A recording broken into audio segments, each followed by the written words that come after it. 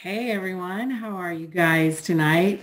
You're getting crazy hair, Jody. This is impressive. Crazy hair, Jody McKenna coming to you for Brian's call tonight. So I was outside. Um, I'm just going to give you a little chitty chat while, while we wait for a few more people to join us. I was outside today um, cleaning all things on the driveway where chickens and ducks have roamed and had a lot of fun on our driveway. And so you couldn't even tell we had concrete on our driveway. So I've been wearing my overalls and moving hay around, helping clean tractors and all whatnot. So crazy hair lady. Anyways, we're super glad to have you join us tonight. Um, you know, this class could be called the science of essential oils or how and why oils work. Um, I'm really excited uh, just for Brian to share this with you because um, Brian was once upon a time a huge skeptic. Like there, there were times where he'd be like, sure they work. And then there was the one time where he watched us use oils quite a bit. And then um, he, he was feeling a little nauseous. And he said, do you have something that'll help me? And so I, of course, took the high road and I did not say, told you so. Uh, so I said, well, sure, try this peppermint on your belly. And he's like, don't, don't I need to just even like, how is it going to help? You just putting on my belly. And I was like, trust me, just put it on your belly. And so he did. And guess what? He wasn't nauseous anymore. And he, I remember just the the confounded look on his face because he put it on his belly. He didn't take it and ingest the oil, which you can, but he didn't. And just rubbing it on his belly made the nauseousness go away. And so like it was just like, how does that work? And I think that really launched kind of Brian's discovery of really trying to figure out how and why essential oils work and you know being an engineer and then pursuing his masters and stuff like that he's always he always wants to know the why. He always wants to know how this works with this and why does that do that? And he's taught that to all of our kids. And so in order i think for him like he would use the oils but he really wanted to know what makes them tick like what makes them unique and why do say Young Living oils work, but we could try another brand and they don't work. Why is that? What makes it unique about Young Living? So I'm really excited for that. Um, some housekeeping, if this is your first time on Zoom, um, is that if you're on your um, computer, um, then you're going to see a bunch of buttons, a bunch of buttons, not like buttons that you can touch unless it's touchscreen's computer. Um, but there's a little chat feature there. And so when you have questions, go ahead and open up that chat box and type your question there. Also, like if Brian's doing something great, you can use the little high five that um, there's like little hand signals that you can do to participate. Um, also, even have dialogue going during uh, while Brian's sharing. And um, that's just always really encouraging um, just to see even community happening and conversation happening. So if Brian says something and and someone's like, I, have never used um, this oil or I don't understand that, type that. And you never know. Someone who um, is an avid oiler might just like reply back while he's even um, sharing about how essential oils work, the science behind it. Um, and then if you're on your phone, there's three dots at the bottom right of your phone and you can click on those and those will have the chat feature on there also. Um, it's great that so many of you have your video on. I know that um, really helps whoever's presenting, like be able to net, really figure out like how people are understanding and things like that. So I know that helps Brian out a lot. And um, I think without further ado, um, we will, uh, I'll hand it over to Brian and then afterwards we will open it up to questions. And um, yes, we are recording if for some reason you have to go put kids to bed or the dog needs let out or something like that. but it's always best to catch it live. All right, crazy hair lady, turning it over to my fabulous, smart, sciency husband. Okay, well, thank you so much for that intro, crazy hair lady. Um, and I think I feel like you just gave away about 90% of the content I had in my presentation talking about that story. So hopefully I've got enough left in reserves here after you after you shared that story about my aha, aha moment that people will still learn something here tonight from me because I'm sure they've already learned from Crazy Hair Lady. So tonight we are going to be talking about the science of essential oils. And if that excites you, great. We've got some exciting science. I happen to think that science is exciting and really interesting. And so if you're one of those people, then great. We've got some great science. If the science of essential oils scares you a little bit, then just hang on because it's all going to be at a, at a level that's understanding, right? The word science may seem overwhelming to you at first, but it's actually, um, it doesn't need to be, right? We're going to demystify a lot of the science. And what, I, what I want you to walk away with tonight is to know that, that science, the science of essential oils, that there is, a, that's a vital part of the therapeutic benefit that you get out of your essential oils. That there, it isn't just all hooey, it isn't just all in your brain, that there is real science to back up how and why the essential oils work. And I want you to know more about how that how they work and why they work so that you can be more empowered to make better decisions about your own health using essential oils um, as, as a uh, as a mechanism to do that. So that's that's the goal for tonight is for you guys to to take, get some takeaways that you can actually put into practice and not just listen to this and think, hmm, that was really interesting, but I'll forget everything he said because it was too technical and too sciencey. So I'm going to try and make it applicable and stuff that you can actually walk away with and put into practice. So my first question though is for all of you, why are you here tonight?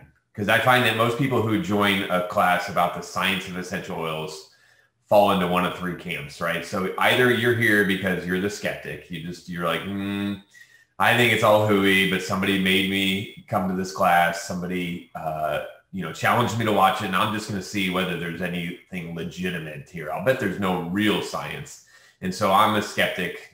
I'm just on here just to disprove everything this guy says.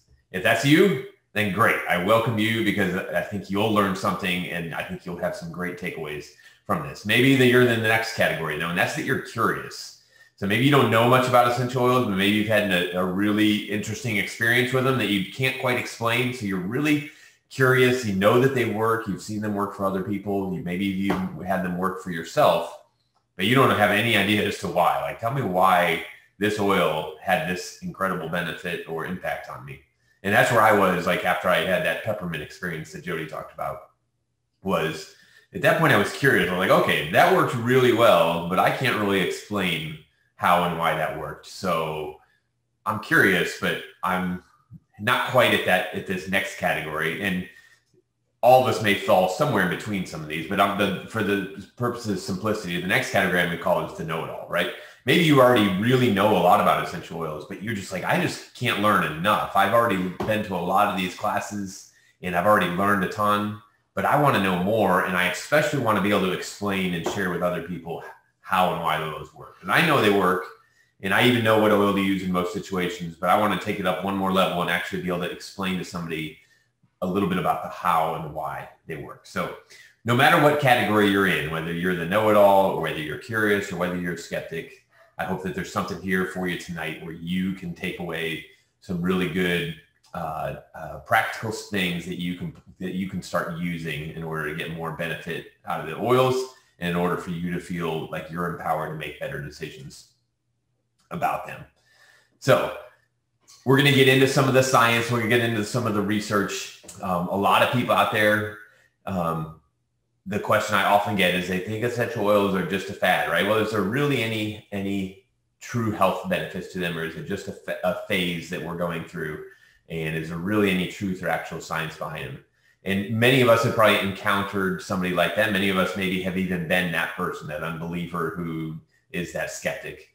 Um, but uh, what I the, what I have found is that the more I have dug in, the more I have read books and, and researched, and the more I've learned about the science and the biology and the chemistry behind essential oils, and how they interact and support our body systems, that the more confident I get in, in using them and the more confident I get in sharing them with other people. And that's a big goal. I want you to feel comfortable using them. I want you to feel comfortable sharing them with other people because you know that you've got the science to support how and why they work. And so that's really uh, what I want you to get out of all this research we've done. Now, what are my qualifications to teach a class about the science of essential oils? Jody touched on it a little bit.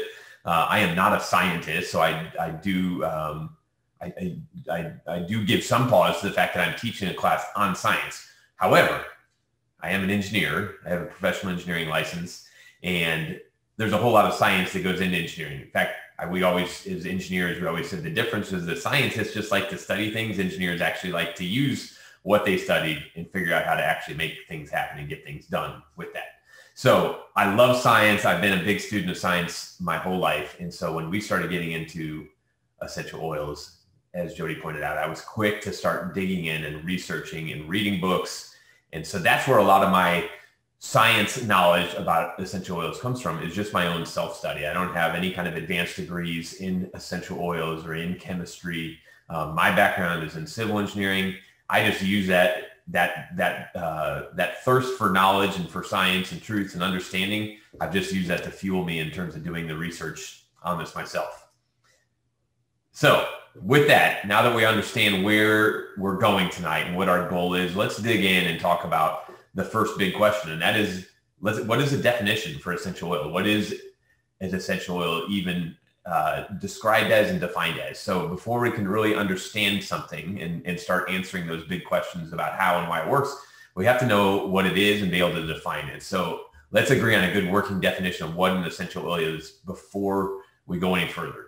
And I'm going to define essential oils as the liquid compounds found in flowers, trees, leaves, roots, stems, fruit, and bushes of plants. And those, those essential oils, those compounds that come out of the, the plant, are typically extracted through a distillation or a cold pressing process. And each essential oil that comes out of that plant contains literally, in some cases, hundreds, sometimes thousands of different constituents, which make up the very diverse benefits and effects that you get out of essential oils. So constituents is a big word, maybe, maybe not something that you're comfortable with and understand and use in your everyday vernacular.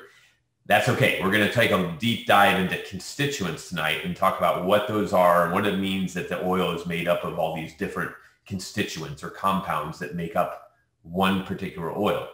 Uh, but the, the important thing to remember off the bat with this is that because of the way that these are extracted, no two oils are ever going to be alike, right? Even from one distillation to another of a particular plant, even the same plant, you're not going to get exactly the same oil every time.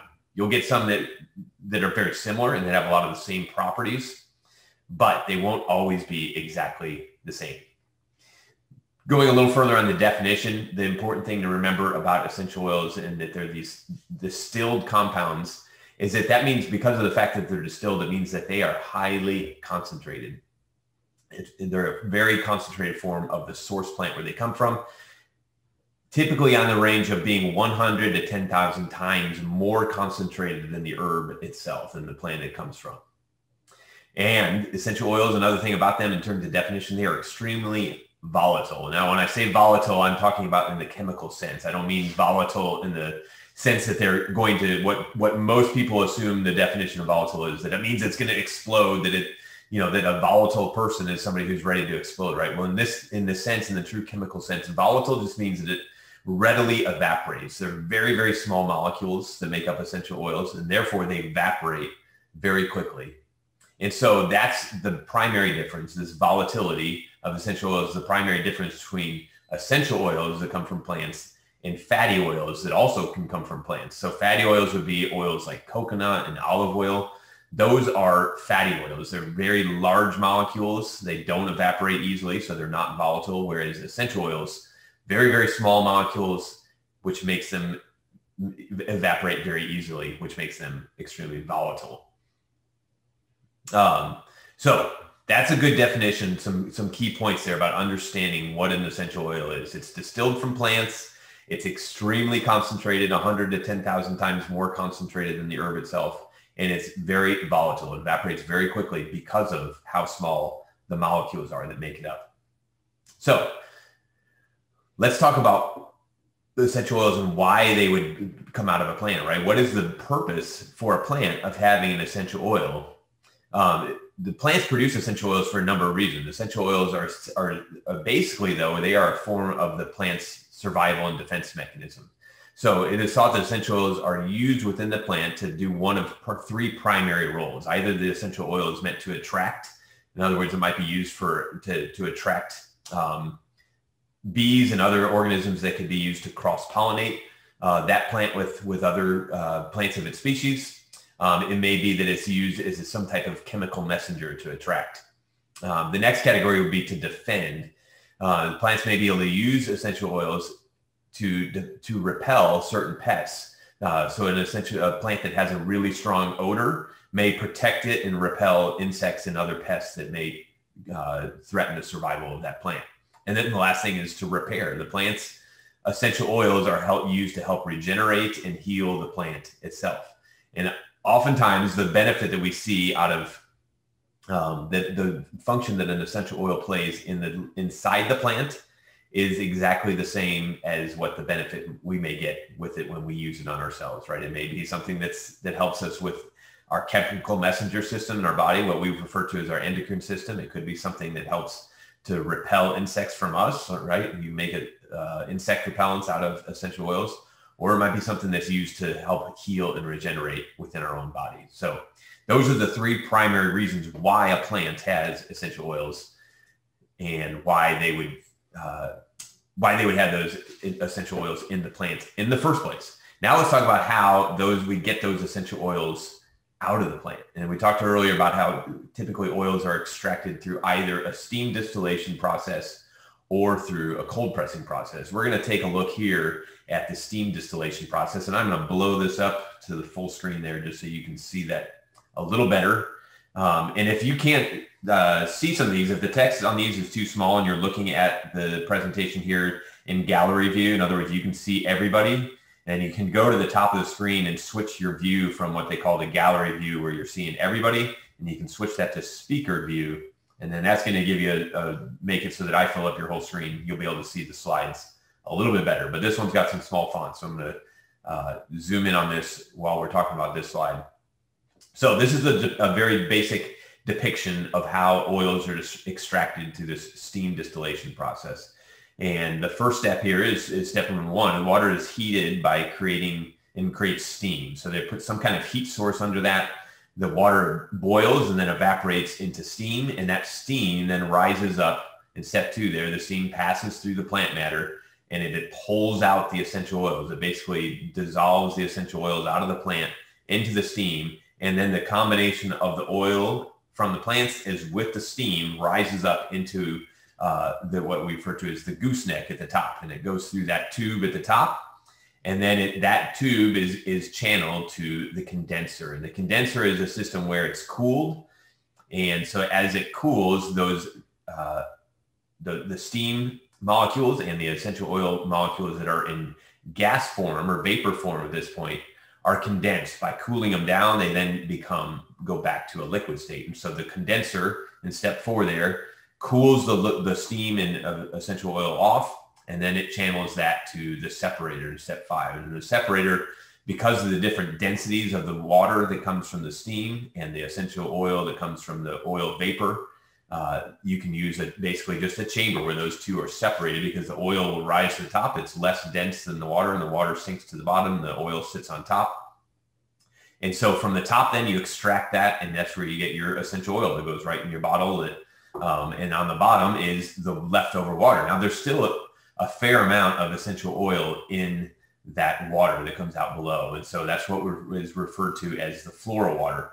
And Young Living is whenever possible, uses that floral water again for other purposes. Sometimes it's used in beauty and home products that they sell. In some cases, they use it to put it back on the, the crops and on the field, either as an insect repellent um, or uh, or uh, as fertilizer and that, those kinds of things. So that they try and as best as possible to use all of the, the that that comes off of there, both the floral water and the oil. But the, what you're buying when you buy a bottle of oil is just that top part, the essential oil that separates out.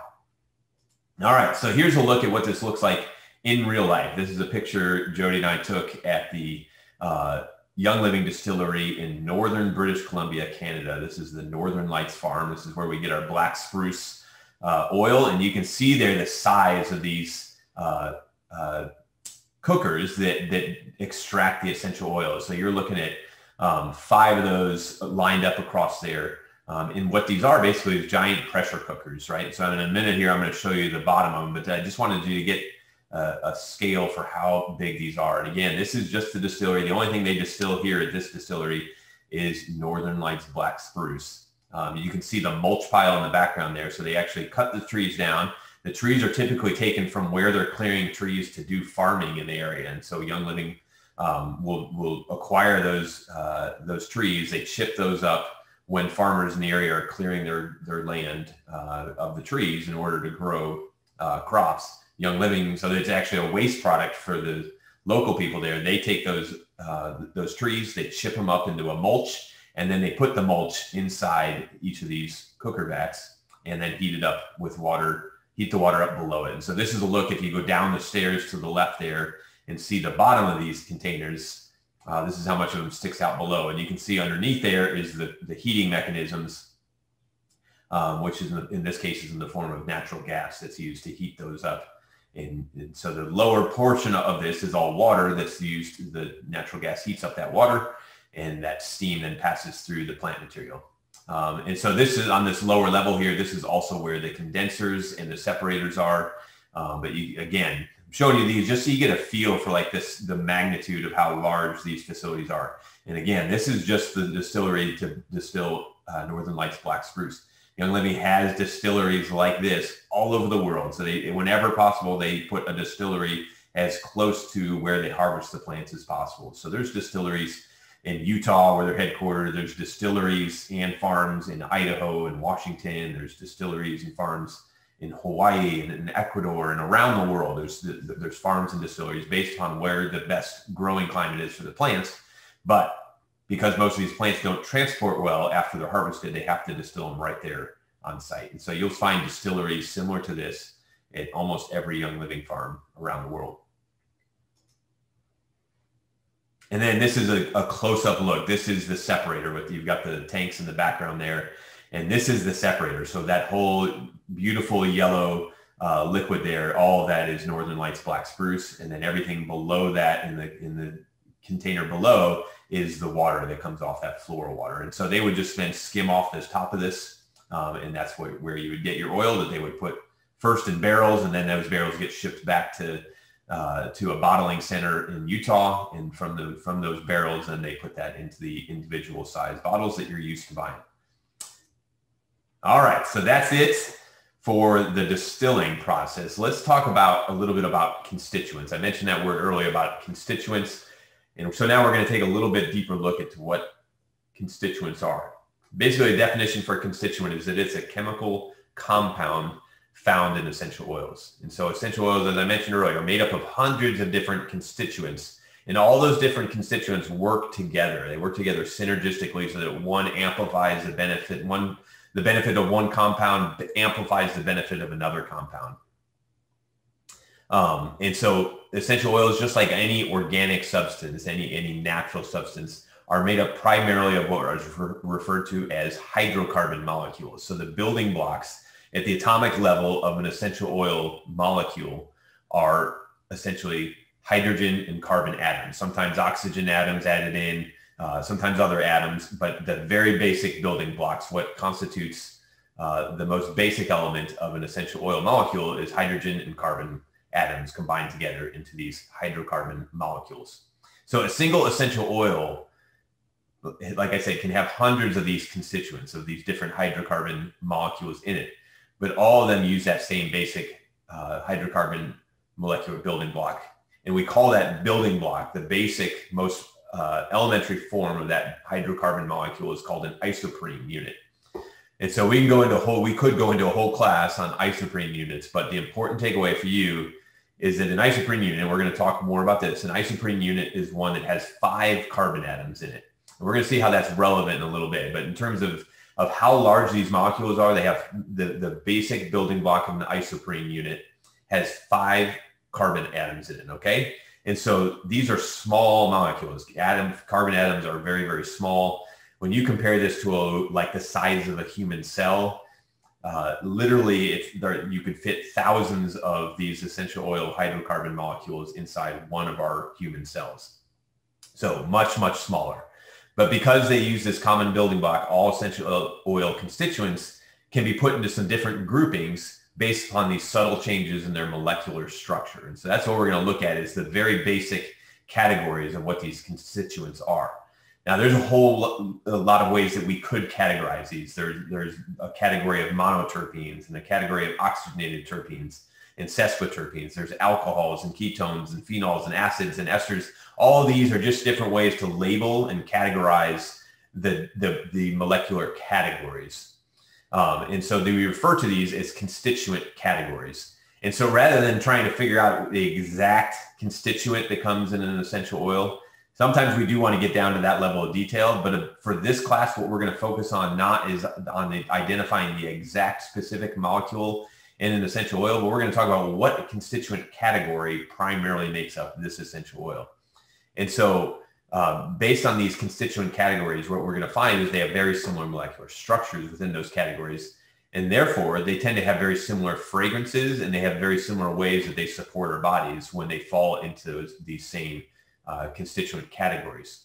And so the categories labels all refer to this molecular structure. And we're going to look a little closer, though, at, at not all of these because that would be overwhelming. We don't have time to go through all the different categories. But what I want to focus on is those top three that are in red there that's the monoterpenes, the oxygenated monoterpenes, and the sesquiterpenes. And so we're going to take a, a, little bit closer look at what each of those three, because those are uh, the three main ones that make up the, uh, the bulk of essential oil constituent categories, are these monoterpenes, oxygenated monoterpenes, and sesquiterpenes. Now, I mentioned earlier that the isoprene molecule is the basic building block, and that consists of five carbon atoms. Um, and when we put those two building blocks together, what we refer to as two isoprenes, we get what we call a terpene or a monoterpene. So this category consists of molecules that have one grouping, one mono, that's why it's called a mono, one mono grouping of these 10 carbon atoms. That's the monoterpene category.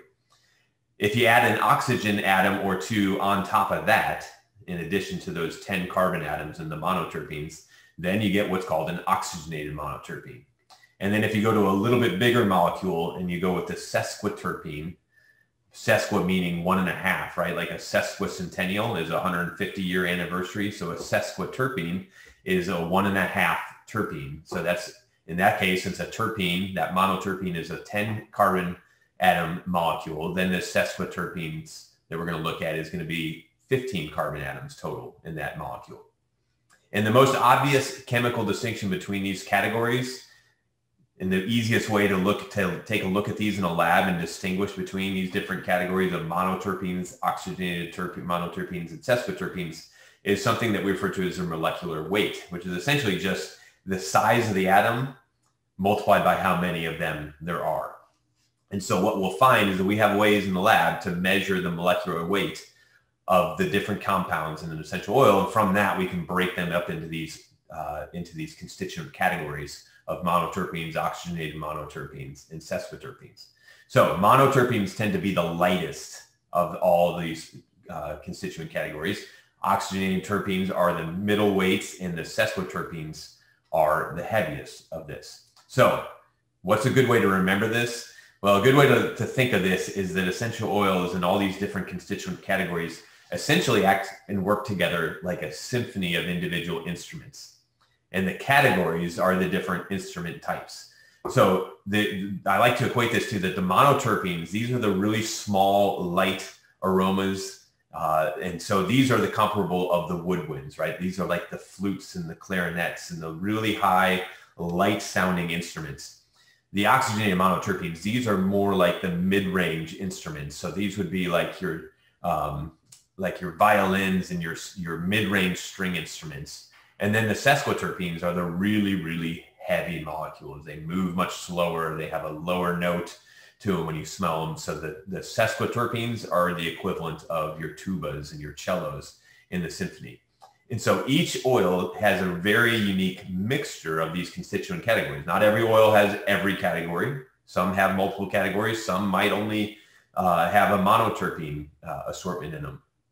But when we start blending different essential oil singles together, we typically start getting notes from all these, these categories, the monoterpenes to the sesquiterpenes, which results in this in the in the aromas that we experience being like a symphony because we'll pick up some notes like wow i smell something flowery and sweet there but then i also smell something woodsy. And so we might use those words to describe what we're smelling right? Like woodsy or or light and flowery. And, and so we're going to talk about how you can use that that sense of smell that you've already developed to distinguish between some of those different smells to identify whether those are monoterpenes, oxygenated monoterpenes, or sesquiterpenes. And stay with me because I'm going to explain why all this even matters. So here's another way to look at it graphically is that monoterpenes, these are really, really light molecules, right? These are our, our woodwinds, our flutes. And so the monoterpenes tend to diffuse and spread more quickly and they evaporate more readily. These are the most volatile of the essential oil constituent categories would be your monoterpenes. So a monoterpene, when you smell that, that's going to be one that, that immediately hits you is, is really strong right when you put it on your skin. But then maybe after five or 10 minutes of it being on your skin, you don't smell anything. If that's the case, you're probably dealing with a monoterpene. Whereas the oxygenated monoterpenes tend to spread a little bit more slowly than those monoterpenes. And so these molecules may linger in the room, they may linger on uh, on surfaces and, and on your skin a little bit longer. Um, and then uh, on the all the way on the right side there are your sesquiterpene molecules, which tend to linger uh, very long. They may not evaporate quickly at all. The molecules spread much more slowly than the monoterpenes and the oxygenated monoterpenes. And those molecules will remain on the surface for a long time. So if you put an oil with heavy sesquiterpenes on, you may not smell much of it at all at first, but an hour later, you're going to, that aroma is still going to be present, although it's subtle that entire time, you'll smell much more of that sesquiterpene over the long haul. All right, so how do we figure any of this out? How do we even understand and, and how can we visualize and see what constituent categories are in a particular essential oil? Well, as I said earlier, it's the, it's the molecular weight of each of these categories that really helps us distinguish between these. And the best way to tell and determine the molecular weight of different compounds within an essential oil is to use what's called gas chromatography mass spectrometry. And so this is an instrument. This is actually at that same farm as Northern Lights Farm. I'm going to go ahead and blow that up so you can take a little bit closer look at that. So this is the instrument that's used to determine the molecular weight of uh, the different compounds that are within an essential oil uh, blend or single. And so the, this is a way for them to measure the constituents that are in the essential oil. And so what they do is that the oil is put into this machine and then the readout comes out on the left. And so what you what happens in that machine is that the oil is actually ignited and, it, and it's burned. And from that burning, that causes it to evaporate. And there is a long coil of copper wire inside that machine, and it measures how long it takes for the different molecular weight compounds to travel through that coil. And so the coil is measured by the computer to determine the quantity of each essential oil constituent that's in there. And they do that based on the lighter molecules are going to move through that coil much faster and the heavier molecules are going to take much longer to get through that. And then what you end up with is being able to turn that into a chart that looks something like this. And so on the bottom there, across that bottom axis is showing uh, the travel time that it took that particular compound. And so this is a, a, a, a graph of an of a essential oil. And as you can see there, it's showing the ranges. So everything over to the left is really light molecular weights. Those are the monoterpenes on the left. In the middle is our mid-range uh, instruments, our mid-range uh, molecule molecular weights. So those are the oxygenated monoterpenes. And then all the way out to the right are the sesquiterpenes. And so in this particular oil, it's got a little bit of a blend of everything. It's got some monoterpenes, a little bit of oxygenated monoterpenes, and, and even a few uh, sesquiterpenes. So the, the, in terms of the height of each of those spikes there and showing how high up that goes, that shows you the quantity of that particular uh, oil. So it, as it's measuring travel time, it measures how much passes by in that particular travel time. And it gives you the quantity of each one of those constituent categories. And so we can use these, uh, these gas chromatography printouts, one, to determine what the constituent makeup is, but we can also use it to identify when something is wrong. So perhaps uh, with, with a, a uh, essential oil uh, that's been contaminated with something, this would show up immediately if you, if you compared this profile to what the oil typically looks like, you're going to have a spike at a different place on this gas chromatography output. And that's going to be a red flag that there is some kind of contaminant in the essential oil. Young Living does these gas chromatography tests on every single batch of oil that they distill in order to make sure that there's no contamination, there's no uh, nothing that made it into the oil that shouldn't be there. This is a great way to flag and catch anything that isn't supposed to be there.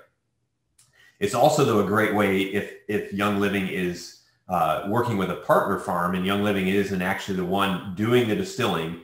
They may be there on site periodically to inspect the distillation, uh, but they're not there the whole time. They don't. Uh, that Young Living does have to contract with some farms and some distilleries in order to meet the supply that's needed. But they have really stringent standards on the front end of that in terms of laying out all the methods for how they produce that oil and then on the back end of it, they go through and test every single batch of oil that comes from that uh, uh, that partner farm, and they compare the the gas chromatography output for that uh, distillation to what Young Living Library says it should look like, and they can immediately tell whether that oil has been altered in any way or whether the oil uh, has any potential contaminants in it, and can send it back and reject it if it doesn't meet all of Young Living's standards. So let's talk now a little bit more about what each of these categories mean. So we talked about the monoterpenes. As I told you earlier to remember, the important thing to remember here is when we say mono, it's, it's one grouping. And so it's this 10 carbon atom grouping, 10 carbon atoms along with some hydrogen and other atoms in it. But the 10 carbon atoms are what gives it its molecular weight. So when we think of monoterpenes, a lot of people like to think of these in terms of how they work at our cellular level. These are the organizers and the peacemakers. These help uh, help to put everything else in its place and help the, the cell to, uh, to, to stabilize and to be at peace. These oils in this monoterpene class tend to have a very, very stimulating effect. These are the ones that, like I said earlier, that you'll smell the, the moment you open the bottle, you smell the monoterpene notes. Um, most of these um, would be in the from coming from plants that are in the citrus category or a lot of some uh, some flowery oils uh, fall into this monoterpene category. So remember that these like our flutes and woodwinds in our in our symphony of oils. So now I want to see what you guys think. Based upon that information, what would be some oils that you would expect to be in this monoterpene category? Go ahead and throw those in the chat what your ideas for what those would be. I feel like this should be like a family feud show because I can't list them all, but I'm going to list a few and I just want to see uh, how much you guys are, are uh, connecting the dots on this in terms of what those can be. So give you a chance to think about that, the monoterpenes. All right. Here we go. These are some monoterpenes. Like I said, these aren't all monoterpenes but these are some of the really well-known ones. Sacred frankincense, really, really light aroma, right? That, that hits you immediately as soon as you open the bottle. Tea tree, of course, we've all opened a bottle of tea tree and put it too close to our nose before we, and then taken a really deep breath, right? Cypress, lemon, orange, and tangerine. All of those are really, really high in monoterpene. So if you guessed any of those, you are correct. And what I want to do, let's take a look now at the gas chromatography output for just one of these. We're going to look at sacred frankincense. And because I want to make this experiential, if you've got any of these monoterpene oils handy and close by, or even if you don't, if you don't have them handy and close by, then, then go get up and, and get some of these. And if you have one close by, then just put it on. I want you to experience and think about how this, uh, how the science backs this up, right? I told you that you'll immediately smell it, but then that aroma is going to pretty quickly go away too. So I'm going to go with my sacred frankincense because that's what we're going to look at is the gas chromatography output on the next screen here. But I'm putting on some sacred frankincense, putting a couple drops in my hand, and I'm going to smell that. And then what I'm going to do is, as I talk about this, we're going to smell it again at the end. And I want you to see how you notice the, the aroma of that change from the time when you first put it on and smelled it to a, a minute or two later. So this is the gas chromatography output. I'm going to blow this up for sacred frankincense. And notice that almost all the major heavy notes are down at this monoterpene end, right? There are a few little hints of some oxygenated monoterpenes and some a few little notes of sesquiterpenes, right? But overwhelmingly, this this is comprised of monoterpenes in the gas chromatography output. And so this is a really great example of a, monoterpene rich oil. And so the major one that you're seeing there, that one single spike that, that goes right through the word monoterpene, that is actually the specific terpene known as alpha pinene. This is a major constituent. And sacred frankincense also a major constituent in a lot of other um, oils that Young Living has. Uh, but also several other constituents are there. They're just not as plentiful and there's not as many of them there. Um, and so, like I said earlier, this GC analysis is like, it's basically like a fingerprint for an essential oil. Um, they may not look exactly like this every time you distill sacred frankincense. The, the quantities may change and shift just a little bit, but you're still going to be able to compare the gas chromatography output for one batch of sacred frankincense with with the gas chromatography output for another one, and you're going to see remarkable similarities that's going to would would allow any trained scientist to know just by showing them this profile, they would immediately be able to say, oh, that's that is sacred frankincense. They can tell just by looking at that output. So this is what Young Living will use to look for and make sure that every that there's no contaminants in it and that it, everything is as it's supposed to be with this. All right. Moving on to the next one, we're going to talk about those oxygenated monoterpenes. So these are those two isoprene units, which put those together and you get that 10 carbon atom molecule. Plus, there are some oxygen atoms added onto that. Oxygen atoms are a little on the heavy side uh, in terms of molecular weight. Uh, and so they add a fair amount of weight to that molecule. So this is some subcategories of this. It would be ketones, aldehydes, alcohol, alcohols, and esters are all the subcategories that make up this oxygenated monoterpene category. In terms of the effect of, of an oxygenated monoterpene, tend to think of these as being very therapeutic and healing, very calming, and some people would even describe them as having a, a sedative effect um, as a result of that molecular structure.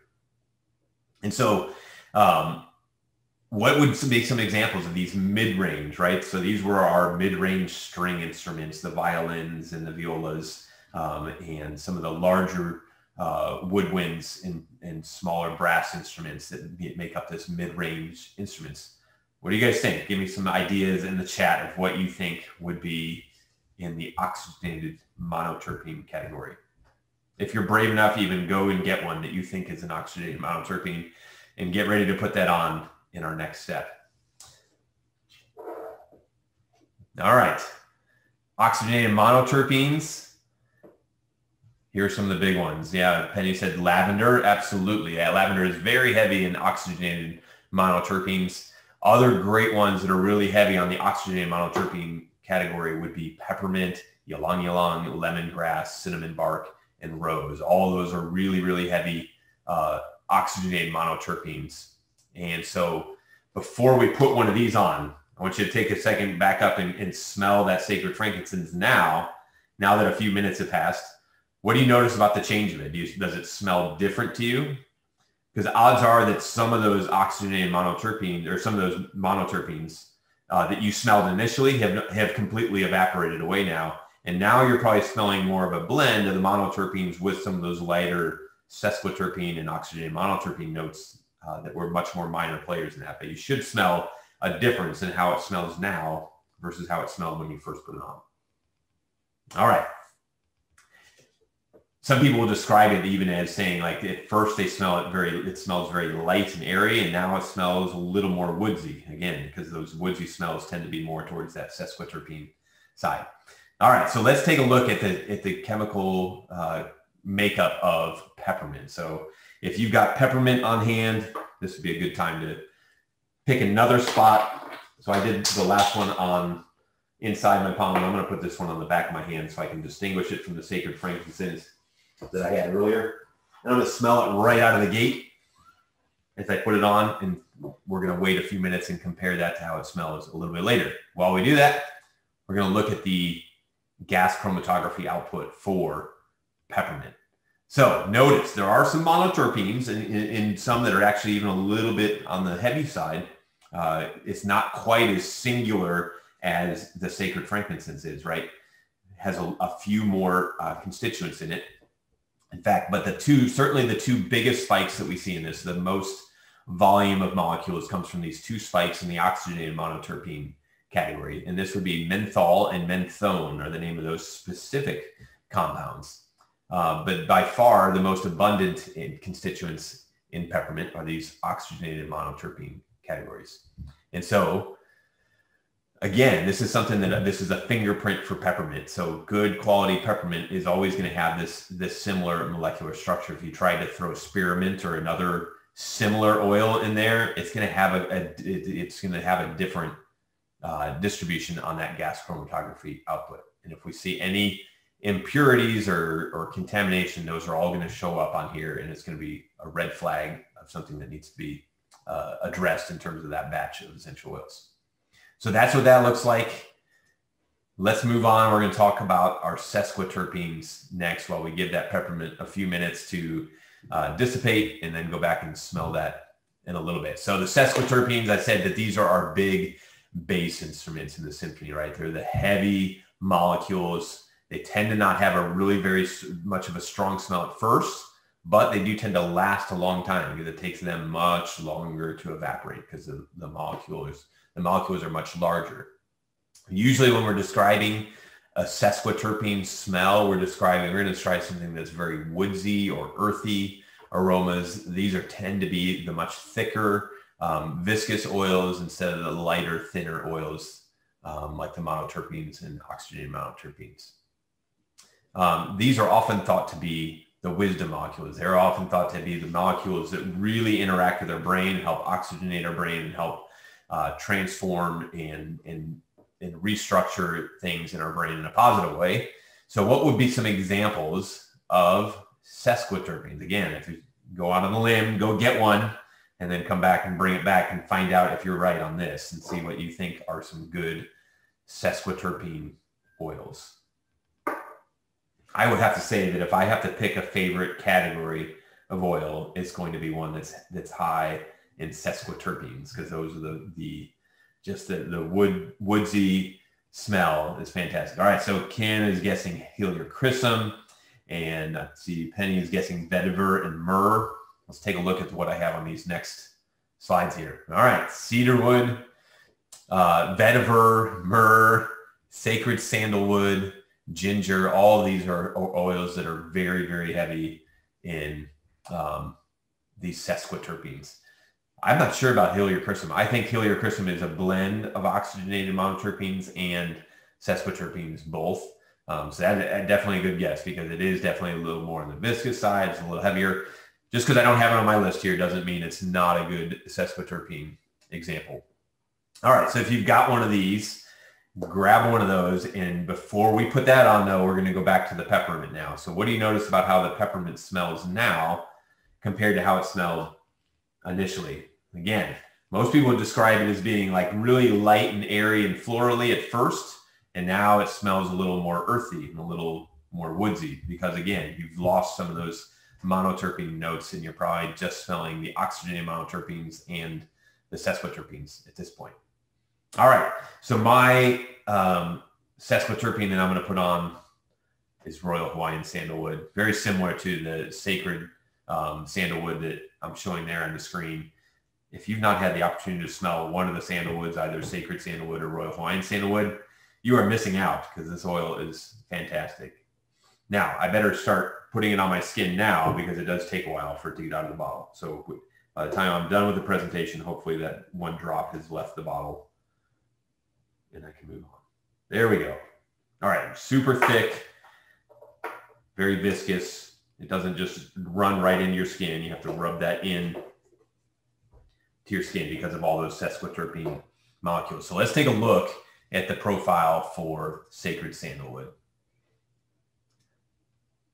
So sacred sandalwood, you can see a few little minor notes that over there on the between monoterpenes and oxygenated monoterpenes, but overwhelmingly we've got this this vast array of really heavy molecules, right? Lots of tubas and cellos and basses and all the heavy, heavy molecules in sacred sandalwood. That's exactly why sacred sandalwood has this really amazing, deep, rich smell. And why? I don't know if you ever noticed this. If you put sandalwood on now, an hour or two or three from now, you're still going to smell it on your skin. Whereas oftentimes we put uh, a lighter one like uh, the peppermint or um, the sacred frankincense, you put that on and really within within 30 minutes or so, it can be difficult to smell anymore. So that's why sacred sandalwood hangs around so long and why it's such a great oil to wear as a perfume or a cologne or anything like that. So, all right. Next, a little side note here. So how do we apply this? Let's talk about lavender. Lavender is one that often people refer to as the Swiss Army knife of essential oils, right? Like people say, if you only have one oil in your arsenal, make it lavender because lavender is known as the Swiss Army knife. It has so many different things that it does, has so many beneficial properties in terms of how it interacts with our body. And it just is good for everything, right? It's good for skin issues. It's good for um, taking internally. It's all kinds of benefits and reasons why we would use lavender. So why is that? What do you think the chemical compound and chemical uh, constituency makeup is of lavender? Well, this is it. This is the first one I actually showed you earlier when I was explaining the different categories. The reason lavender is such a great oil for so many different things is because it has all the constituent categories in it. It's got lots of monoterpenes and lots of oxygenated monoterpenes and even lots of sesquiterpenes. So lavender is one of those. This would be a good time to put on some lavender if you have that handy. You put lavender on, and this is one that really changes. The first, at first, you're going to smell those monoterpenes, and then a few minutes later, you're going to start smelling more of the oxygenated monoterpenes, and then, you know, an hour from now, you're going to start smelling more of the sesquiterpenes, just because of the way they evaporate at different rates, and that's what creates this beautiful symphony of aroma as as it and it changes the longer you have it on, right? So if you've ever wondered why does lavender have so many uses, this is exactly why. It's because it has a lot of different individual constituents that make up this wonderfully diverse oil with so many different applications to it. All right, so put your lavender on and we're moving on to the next step, which is a little did you know. So a lot of people don't realize this, but this whole idea of gas chromatography and analyzing chemicals like this, this isn't something that's only done with these natural essential oil molecules a lot of companies that manufacture uh, other types of, of personal care products use gas chromatography to figure out what constituents they have in a particular substance and in order to try and mirror and match what's going on in natural essential oils. So like you might buy, you know, a generic muscle rub from the drugstore and it's going to have some chemical synthetic versions of the same things that are found naturally in plants. So you might have a chemical version of menthol that's that's heavy in peppermint, and they may try and replicate that in the lab. They're going to say, okay, well, the molecular weight of menthol is this. Therefore, let's see if we can make something in the lab that has a similar molecular weight, and therefore it should have some similar properties, right? And it does. It may have some similar properties and some similar uh, aroma to it but it won't be the exact same makeup. In fact, sometimes in the lab, they can make it exactly the same, just that the molecule might be shaped like an L facing one way in one uh, in the natural uh, plant, and it's going to be an L facing the other way, and when it's made uh, synthetically in the lab. And, and so it may have a lot of similarities, and it may be a lot cheaper to manufacture in the lab rather than to, to extract the natural essential oil uh, the way Young Living does. But it doesn't provide all the same benefit because it's not exactly the same. Even though it may be similar in chemical makeup, it's not exactly the same. So, so many of these commercial products try and match the the benefits of the essential oils by using these synthetic versions of the of the constituents that are found in the plant. But there's nothing like the original natural thing that you get right from an essential oil molecule. All right. So that's that's a lot of the science about how essential oils are classified, the different constituent categories. So now let's talk about how you actually use them and what that what how what the best way to use them. And we this is something we cover in a lot of our really basic 101 classes, right? Is the three primary uses, the aromatic, the topical, and internal are the three ways that you can use an essential oil. So we're going to talk now though about why each of these uh, ways to use them or what we call a route of administration, uh, how, how each of these methods actually works and interacts with our body. So let's take a look at the first one, which is to use it aromatically. So this is just what we've done already, right? Is putting a few drops on our skin and then using that as, as a way to diffuse those molecules up to our nose and, and to smell them, right? So that the first category of aromatic is not something that um, that is foreign to us already because we've already done it here in this class. But there's two ways that that oils work in terms of interacting with us aromatically. One is that they they affect our brain in, in terms of our psychology and the way we think, and and they we're going to get into that in a little bit. But the way uh, in terms of breathing an essential oil molecule in, it's also a great way to get those essential oil molecules into our bloodstream. So when you breathe an essential oil molecule in, it's going to go through uh, your uh, your wind tube, right? You go through your pharynx and larynx down into your trachea, and from your trachea, it's going to go down into your lungs, which your lungs basically are like an upside down tree where they branch out into these smaller and smaller branches until you get down to those tiny branches of the bronchiolae and the alveoli. And these alveoli are little tiny sacs that do the, the exchange of, of the oxygen um, with the air and extract the oxygen from the air that we breathe and get that oxygen into our bloodstream. That's how that's how we function and, and live, right? Is by our alveoli extracting the oxygen from the air and putting that into our bloodstream. But this is these alveoli and the bronchioli are really, really thin membranes because they have to be thin enough to allow the oxygen to pass through and to get into our bloodstream. These really, really thin membranes are a great way to allow the essential oil molecules to also get into our bloodstream because of how thin that membrane is.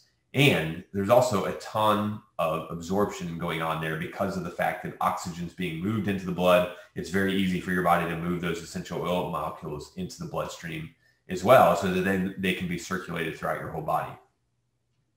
The other thing that you have going for you when you breathe an oil in and get it down into your lungs, and this again, this can be through a diffuser or just through putting it on your hand, getting those essential oil molecules into vapor form and then into your lungs. Not only are those membranes in the alveoli really small, but they're actually quite massive, right? So if you were to cut open your lungs and take each one of those alveoli and unfold it and, and and lay all those alveoli out on a, on a flat surface, it would actually cover the, a, a, regulation tennis court roughly in terms of size. So in terms of the amount of surface area you have in your lungs in order to exchange oxygen and to exchange essential oil molecules with your bloodstream, that is a massive amount of area all contained because it's all in these little tiny folds in all these little tiny alveoli that if you unfold all those, it would be literally the size of a tennis court is how big those are. So it's a great way to get the oils into your bloodstream fast. But as I mentioned, it's not the only benefit to, to having the oils aromatically. The other way is that the, these oils, when we breathe them, they really have a profound impact on our brain. And so that's not going through our lungs, but that's the other way that we breathe them in is when we breathe them and go into our nose then it goes into our olfactory system. olfactory system is just a fancy word for our sense of smell. And really, it's one of the least understood senses in our body. There's still a lot of research being done trying to explain how this works because it is the sense that's most closely tied with some of our uh, functions such as memory and emotions. So, but the, the key thing here to take away is that the sense of smell is different than all of our other senses in one major way, and that is that all of our other senses are, are processed by a part of our brain called the thalamus. The thalamus is like our switchboard for our brain. And, the, and what it does when we encounter any other sense besides our sense of smell, those senses are relayed to the thalamus. Um, and then from there, it goes to the cerebral cortex, which is our logical part of our brain. So our, from there, our brain can process that sense from a logical perspective, it determines whether a fight or flight response is necessary or if this is just something that needs to be analyzed and understood. But your, your sense of smell doesn't do that. Your olfactory system is the only sense you have that works completely different. It bypasses the thalamus and the logical cerebral cortex and it goes directly to your limbic system of your brain, which is completely different structure within your brain. So let's take a look at where that is and how that works. So your limbic system is uh, is a structure in the very center of your brain. And when you breathe in a, a molecule in, it's going to go in through your nose, up into your nasal cavity. And from there, those odorant molecules are going to bind to your olfactory receptor cells in the back of your nose. It's on a piece of skin uh, known as the epithelium. And from those, uh, from there, those receptors are going to trigger an electrical response and send a signal back to the olfactory nerve. And from that olfactory nerve, it's going to go to the olfactory cortex, which is the, the basically the switchboard for the limbic system part of our brain. And so once it's there, to take a look at a little closer look at the limbic system. The limbic system is basically this combination of structures in the brain. It's located in the very, very center of your brain. So it's really well protected and it's for good reason. It's because it does it has a lot of important functions. Um, these structures play a major role in controlling our mood, our memory, our behavior, and emotion. Uh, so just as an example, the amygdala, this is that almond shaped mass of nuclei. This is what's involved in our emotional responses. It controls our hormone secretions, our memories. It determines what memories are stored based upon what you process, and it determines where in your brain those, those particular memories are stored. Uh, the limbic system is also made up of the hippocampus is another substructure of that. That's a tiny nub that acts as a memory. Um, that, acts as a uh, the the hippocampus is tiny on the X is a memory indexer. There we go. It helps uh, with forming long-term and short-term memories. And then there's the hypothalamus, which directs many important functions such as sleep patterns. It wakes you up in the morning. This is what gets adrenaline flowing. Um, this is a really impo- important emotional center, controlling the molecules that make you feel exhilarated, angry, or happy. And it also regulates your body's temperature and your hormones, your metabolism, all the things that your body does and self-regulates without you having to think about it, all that takes place in the limbic system. And so when you smell an oil, those essential oils go to work immediately in the limbic system, affecting each of those really important functions and structures in the limbic system. So that's a little bit about the psychology of how those oils work. Here's just another look at some of these major roles that I mentioned, regulating motions, decision making, impacting behavior, hormone function, sleep patterns, our long-term memory, even activating the immune system, regulating blood pressure, and regulating our digestion. All those things happen in the limbic system. In the your sense of smell is the only sense you have that directly interacts with that particular part of the brain. So this we've talked about memory and and how the limbic system is such a key part to memory, and that's why smells have such a powerful impact on our memories, right? Helen Keller is known as saying that a smell is a potent wizard that transports you across thousands of miles in all the years you have lived, right? And if anybody was in tune with her sense of smell, I'm sure that it was Helen Keller being void of those other senses. She had to rely so heavily on the senses that she had. So I can only imagine that her sense of smell was was hyper uh, in tune with everything that she experienced. And so this whole idea of the, the connection between our smell and our memory is something that's known scientifically as the Proust phenomenon. It's named after the French author Marcel Proust, who wrote a fictional book where he described the basis of that fictional story was this tie between our memory and our sense of smell. But of course, since it, that even though the book was was fictional, the the the truth behind that is that there is a lot of science to support this idea of the connection between smell and memory. Um, so much so, we've all had experiences where you smell something and just instantaneously it transports you back to uh, to a, a, time years and years before where you quickly recognize that smell and it just makes you immediately think of some past memory. And this, that's exactly why it works. The science is that it's because your olfactory system is just tied directly to that part of the brain that deals with your memory and also deals with your emotions. And so that's why essential oils used aromatically are a great way to support your emotional health. And so Young Living has a whole bunch of oils that all have these emotional names to them. They all tend to be in these purple bottles um, so that they're easy to find, right? And these are what we refer to as the emotional blends. There's actually a whole kit of oils that Young Living has called the Feelings Kit that's all targeted at, at helping us support those emotions. And the way it works is that it's because all of our sense of smell is tied directly to that limbic system in our brain where, where we uh, process our memories and process all of those emotions. So we've got a whole nother class just on that. If that's something that interests you, I encourage you to check that out um, and, and dive into that. And that's a great way to support your emotional health is with some of these emotional blends and with the feelings kit, especially.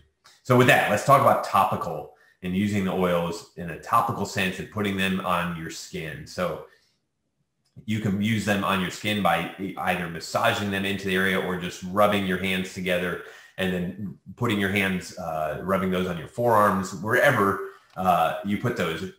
Uh, those oils are going to go to work on getting into your uh, bloodstream as well. And so let's take a look at how that works, how that that mechanism works. Um, so first of all, the thing to understand is that most of our skin is is very permeable. We have lots of pores, and those pores allow the essential oils to get into our skin.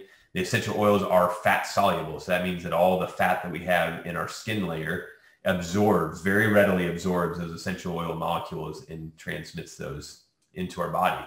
Um, but we, it's also important to recognize that we are pretty much have equal pore size throughout our body. So some of our areas that are considered really tough skin, like the bottom of our feet, they still have the same amount of ability to absorb those oils. So in some cases, you want to focus an oil that maybe would be considered a hot oil that might burn a little bit when you put it on, or maybe it's an oil that you don't really like the smell of. Then the great way to do that topically is to put them on the bottom of your feet because you don't really feel it and you don't really smell it as much there, but it goes to work just as well in terms of getting absorbed into your body. And this is a little bit about how that absorption mechanism works. As the as that as the oil is placed on your skin, it's going to be absorbed into your skin through this three layer system. So the skin is broken down into three layers. There's the top layer, which is what we call the epidermis. And then there's the mid layer, which is the dermis, and then the bottom layer, which is called the hypodermis. And the derm, the epidermis's main responsibility is to be a barrier. It's supposed to be a filter to keep things out that we don't want in. And so that top layer um, of the epidermis is there's a really thin layer and within the top layer of that epidermis um, that's called the stratum corneum. And the way to think of this is it's like a brick wall. There's skin cells that make up this stratum corneum, and those skin cells are like the bricks in a brick wall. But on a brick wall, mortar holds those bricks together. But on our skin, that mortar is not impenetrable. That mortar that holds those skin cells together is actually fat. And so the fat holds those different skin cells together. And that fat is a great mechanism to absorb the essential oils into your body. And so this is a really important feature of the skin to remember is that as I talked about, oils are fat soluble. So in order for a molecule to gain access to your bloodstream and travel to your different systems and organs in your body to perform and what it's supposed to do, it, must pass through those layers of epidermis, followed by the dermis and the hypodermis. And only then does it finally reach the blood vessels before it gets into our circulatory system. So when you put lotion on or an insect repellent or a sunscreen, you put those on your body, where does it go? Does it just sit on top of your skin?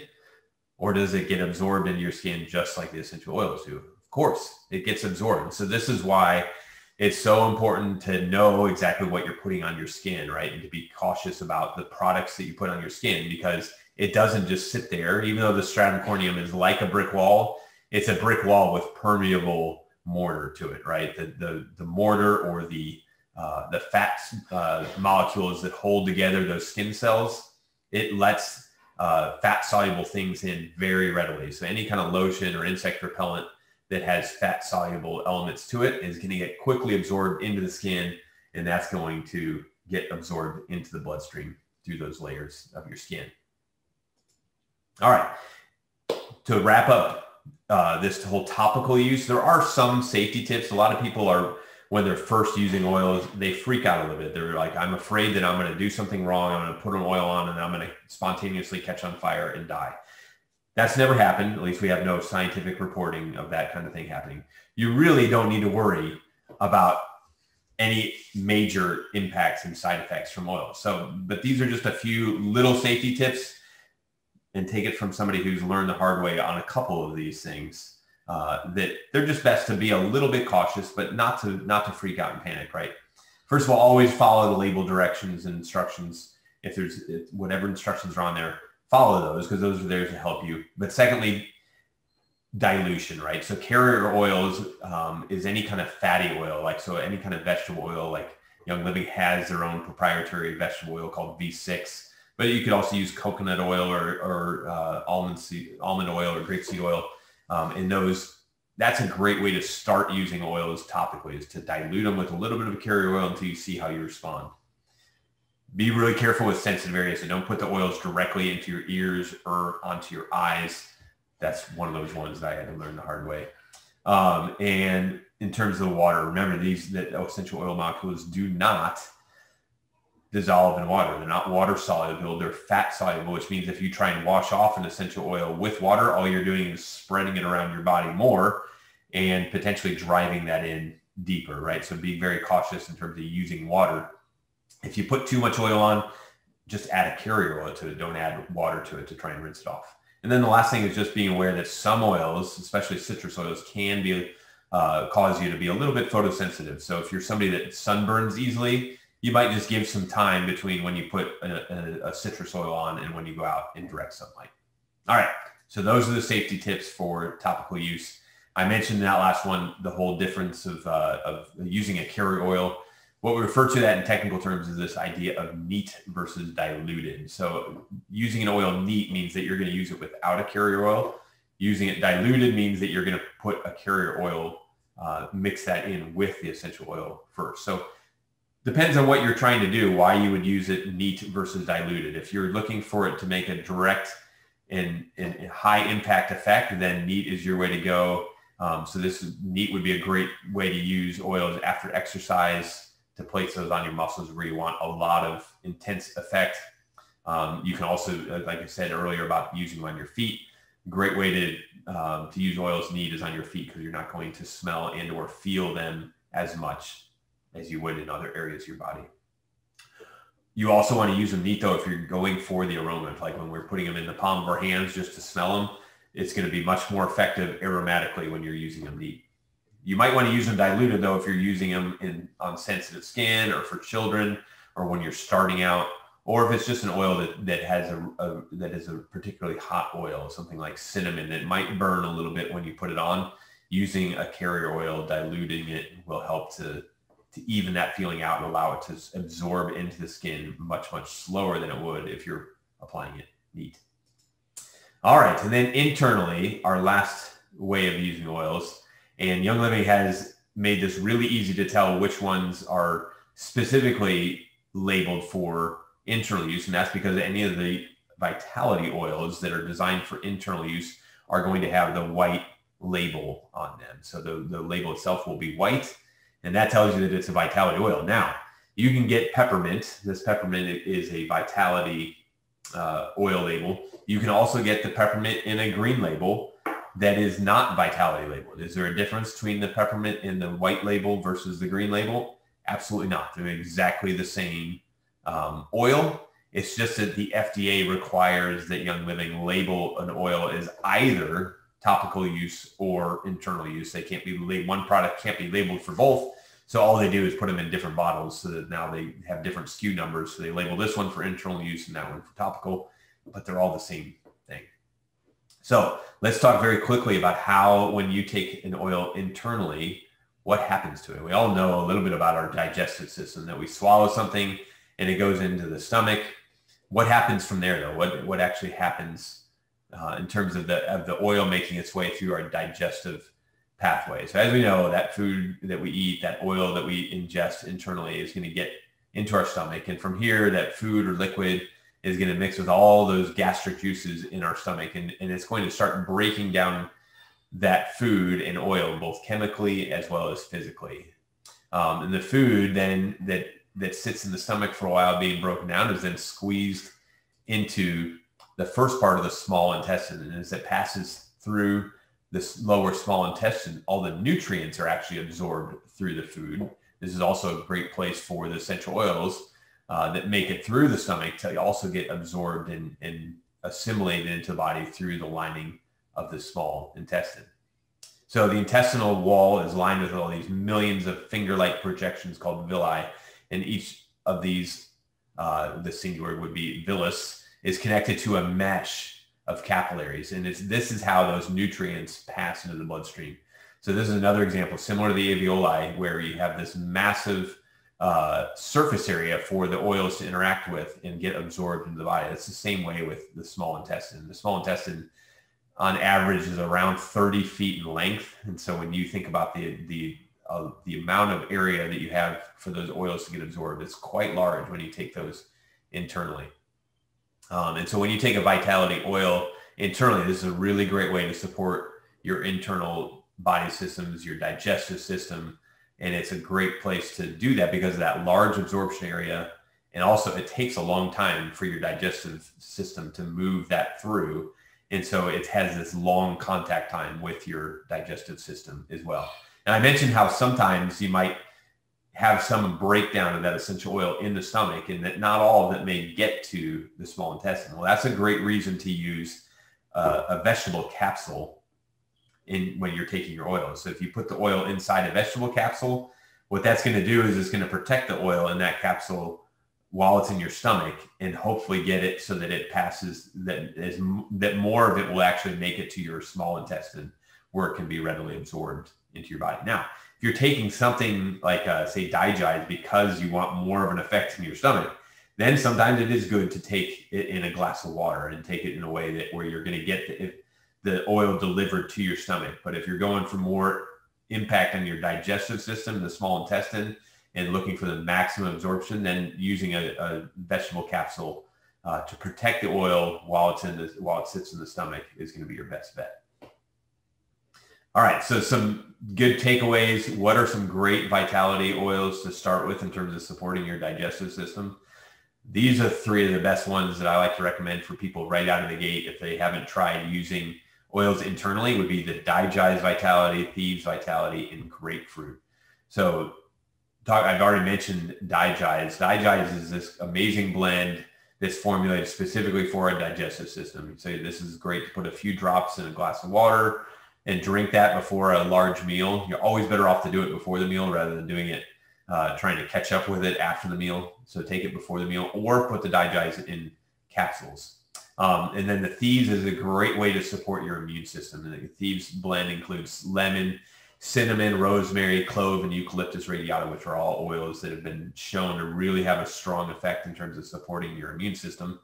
And then last but not least, that grapefruit vitality is actually been known for a long time that grapefruit provides amazing benefits for weight management. So a lot of people uh, have gone on diets of eating lots and lots and lots of grapefruit, right? Because of its a, a, ability to help our body maintain a natural healthy weight. And so grapefruit vitality oil is a great way to do that without having to go through the tedious work of cutting open a grapefruit and that, you know, cutting it up into the little tiny pieces that you can actually eat. So super easy way. These are great three practical ways to start using vitality oils right away in your routine. So that's it. I hope that no matter, like I said earlier when I began, no matter where you started from in the skeptic or the curious or the know-it-all, I hope that you got something out of this and that you're benefiting from uh, this information. But I hope most of all that you're going to take some of this information and put it into practice. You're going to start being more conscious about the oils that you put on and thinking, hmm, what am I smelling here? Is this a monoterpene, a sesquiterpene, or is it an oxygenated monoterpene? And start thinking about some of those things and then start using some of the resources to look up and do your own research and dig in more um, and just make better, more uh, conscious decisions about your health by understanding how and why the oils work the way they do to support us at the digestive level and at the emotional level um, and to support our lungs and our skin and all the ways that we talked about using essential oils.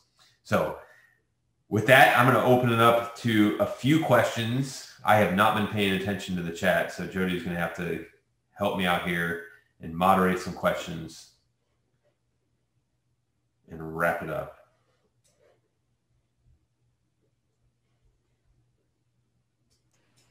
I sent you a direct message. Okay.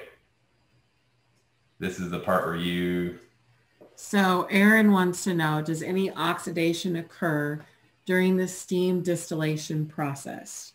I answered her the best that I could, but I didn't know if you had anything else to add.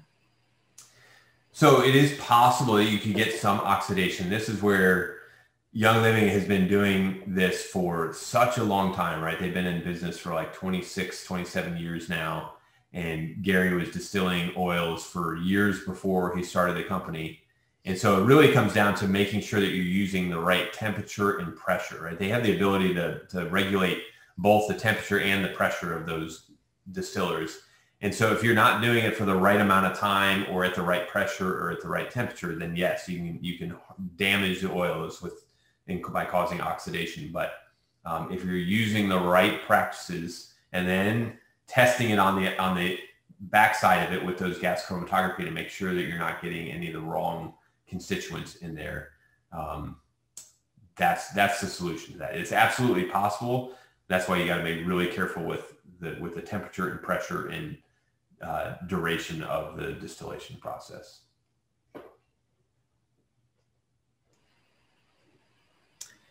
And the other question was from Diana, what's the best answer to tell someone the main difference between Young Living oils and the oils people buy from the health food store?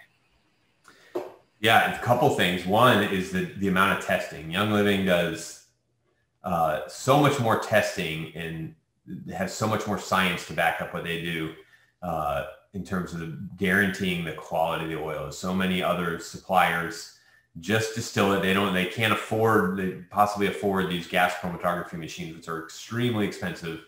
And so they just bottle and just, they just bottle whatever comes out of the distiller without any regard for it having contaminants or anything else in it. And so Young Living's testing standards go just far beyond anybody else out there. And they do that because they also go far beyond anybody else's standards in terms of how it's grown and cultivated. They don't use any chemical uh, fertilizers when they're growing the crops. They don't use any chemical pesticides.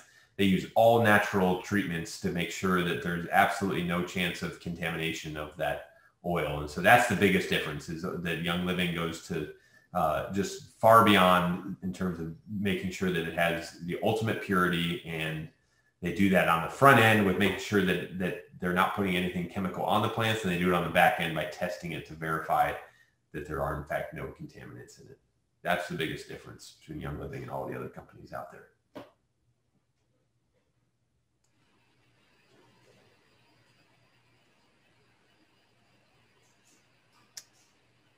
And then would you share with um, how you can travel with oils? I know you've traveled overseas even, but how to travel with oils when traveling by air and then maybe share with someone if they're not yet a member yet, how they can get started.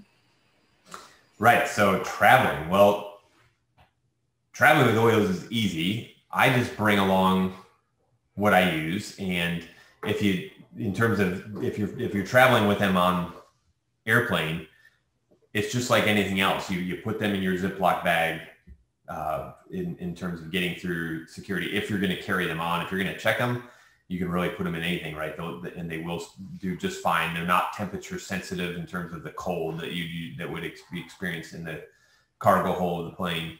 But all the oils that you're used to using at home, I think are a great idea for taking with you on the go. We have a whole video on that I did a few months ago on traveling with oils and ideas for traveling with them and making sure you're getting uh, using using all the oils um, that you would need when you're traveling. So I guess I would refer you to that. We, we should include that link in the email when we send that out in terms of referring back to that previous travel one. And then in terms of where you go from here, if you're not a Young Living member, the best thing you can do is become a Young Living member in order to enjoy the products. I know you can buy them off of another distributor, but the problem is that you don't get the maximum benefit. First of all, you're putting your your health and wellness decisions in somebody else's hands, right? Saying, "Hey, will you do this for me?" rather than you taking ownership of it for yourself. And so what we always encourage people to do is get your own Young Living membership. It's super easy to do. Um, and that way you don't have to bug your friend to place an order for you and to um, and for them then to get it delivered to their house and then you got to meet up and get the oil from them. The other part of that is that if you're not ordering yourself as a member, you're missing out on all the freebies that Young Living gives you for being a member. Every every member, when you order, uh, there are all kinds of rewards and loyalty gifts that go along with with being a member. So you're always best off to have your own membership. And if you don't have a membership, the easiest thing to do is to go back to the friend who invited you to this class tonight and say, "Hey, I am."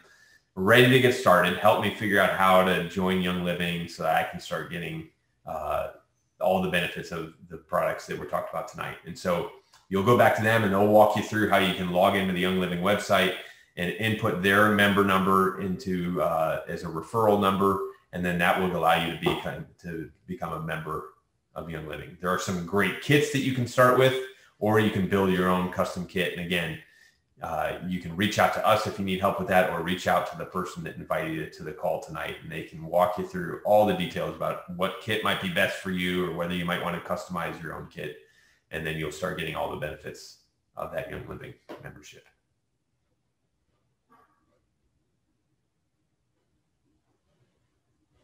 Anything else jode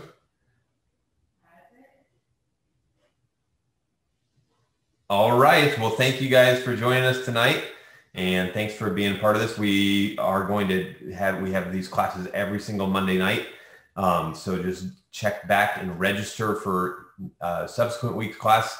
And we would love to see you bring some friends along with you too. I think Jody posted the link maybe somewhere in there. Yeah. Um, so grab that link and send that to some friends and invite them to come back and join us for next week's class. And we will see you all then. Thanks everybody.